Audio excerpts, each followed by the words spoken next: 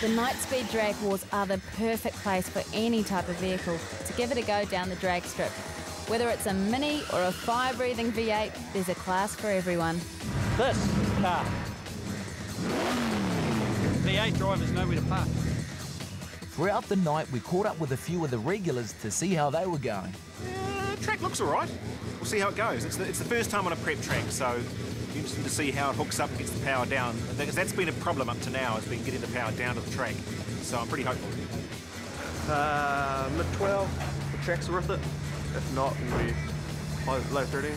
Eight second Datsun pilot Rod Harvey turned up in his tow vehicle, as did magwarehouse.com's Lance Evans, to prove it's not about how quick you go, but how much fun you can have. Normally running eight seconds, but tonight we thought we'd uh, see how the tow vehicle goes. Should be quite interesting. Um, these trucks are very fast production truck. In the States, they supposedly do a 13.8 quarter mile, but uh, we'll see how it goes. She's a 350 Chev. It's got an underhood blower on it now. It produces about 360 horse. Weighs about two and a half ton. It's a bit hard to get off the line. We've got a limited slip diff in it, uh, 1500 watts with a stereo, two TVs, so I won't get bored while I'm doing my 15 second run.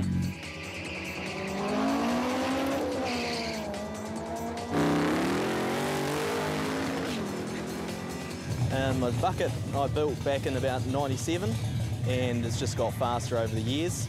Um, it runs a 355 Chevy and we run a Ford 9 inch diff. It's got four 56 gears. You get a bit of respect from the older guys, but the young fellas kind of look at you a bit sideways and say, what are you doing racing that?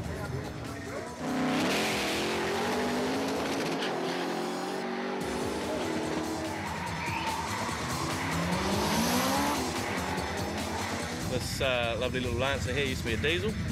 Um, it's now about 550 at the wheels. Um, fuel pumps, turbo, all that sort of usual stuff. We only got it going at 5 o'clock tonight because we melted a piston yesterday. So, yeah, hopefully it still goes well when I go to go home in it. It wasn't to be though for Lightning Motorsports Glenn, as his night ended early due to an electrical problem.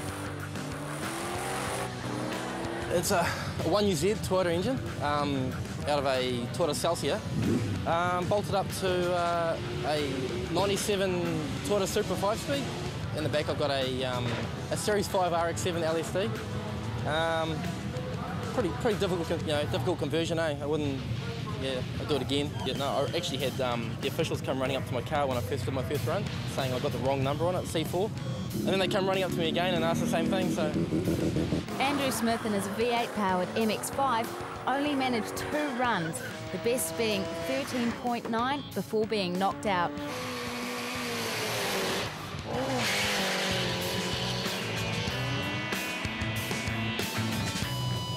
Hi, uh, my name's Paul. Uh, this is uh, my and my brother John's GTI. Uh, it's not an NA anymore.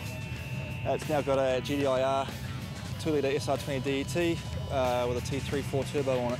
The Rothery Brothers Nissan Pulsar, which is currently the country's fastest road legal front wheel drive, did not disappoint and ran quicker than its previous best with an 11.113 at 197 kilometres an hour.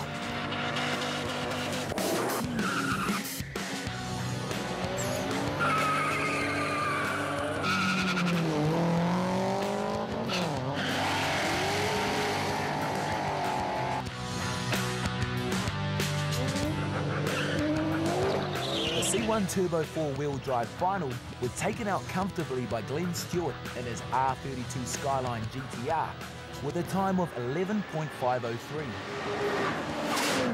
The C2 final saw Jason Olsen and his not so standard 79 Datsun lined up against the R32 Skyline belonging to Carl Reiterman. But the rotary powered Datsun was too quick for the Skyline, a 12.82 sealing the win. As has been the case lately, Daniel Johnson and his RX2 was matched up against James Stock's 323 wagon in the C3 All Motor Final. The RX2 only just having the goods over the 323 with a 12.3 second.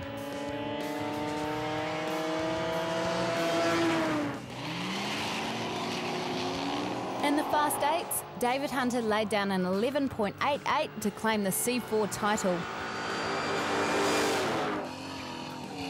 Ross Newby proved too consistent for Adam Carpenter in the DYO class, the 84 Commodore showing up its younger brother running a 14.409. And this rapid T-Bucket laid claim to the Pro Street class title with the fastest run of the night at 9.883. But Graham McDonald in the Croydon Toyota Supra wouldn't have been too disappointed, improving his PB with a 10.884 at 204.75 kilometres per hour on the slippery track. Yeehaw.